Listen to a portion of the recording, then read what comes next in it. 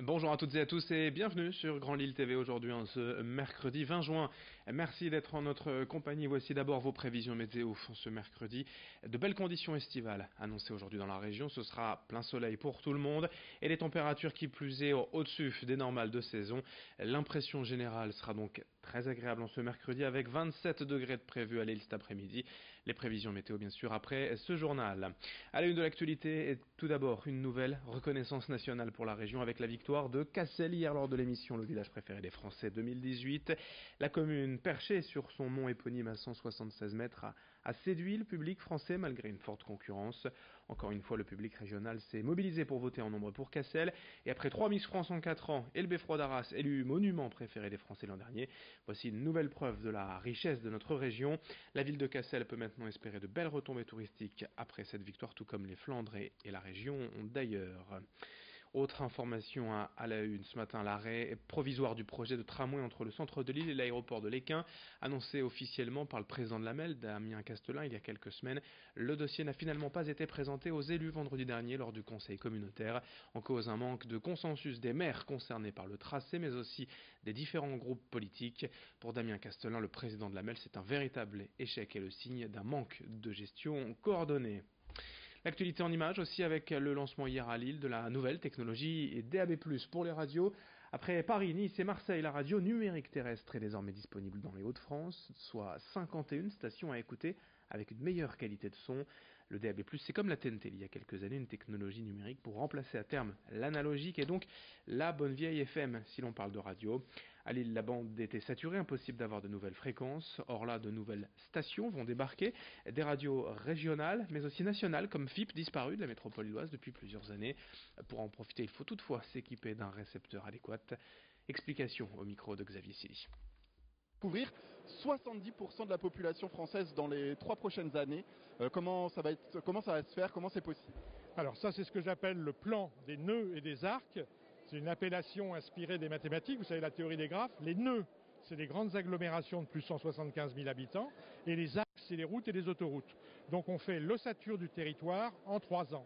Ce n'est pas un plan complet, mais c'est un plan qui permet d'aller vite et d'aller d'abord là où c'est rentable, là où il y a de la demande, là où les radios sont solvables et là où il y a des auditeurs pour écouter. 51 euh, radios disponibles hein, ici dans les Hauts-de-France. Comment euh, ça a été sélectionné? Comment vous avez fait euh, en sorte qu'il y ait un peu de tout sans pénaliser personne? Ah, ben c'est une très bonne question. On a fait un appel à candidature. On a été très heureux de constater qu'il y avait plus de demandes que d'offres. Donc on a dû faire des choix. Et euh, la radio, c'est un écosystème global, donc on a besoin de petites, de moyennes et de grosses, on a besoin de public et de privé, on a besoin d'associatives et de commerciales, donc on a fait le meilleur panachage possible.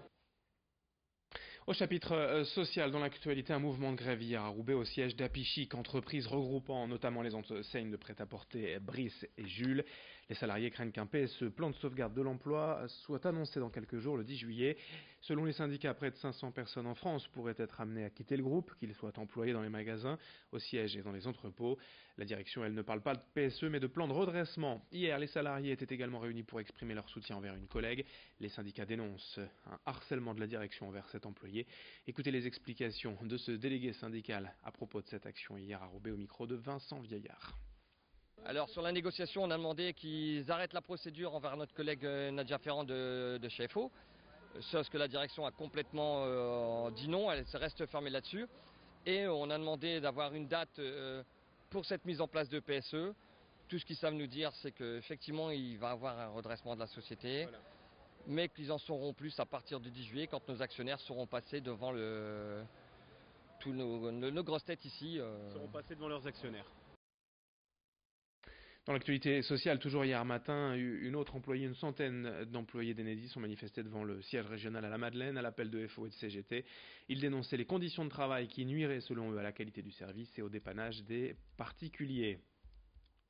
Dans ce journal également, l'association Les Petits Frères des Pauvres vient d'inaugurer hier à Fives ses nouveaux locaux lillois, une antenne déjà ouverte depuis près d'un an, mais entièrement rénovée et surtout réaménagée pour permettre l'accès aux personnes à mobilité réduite. Car depuis plus de 70 ans, l'association vient en aide aux personnes âgées isolées en leur offrant un peu de temps, une présence chaleureuse, amicale.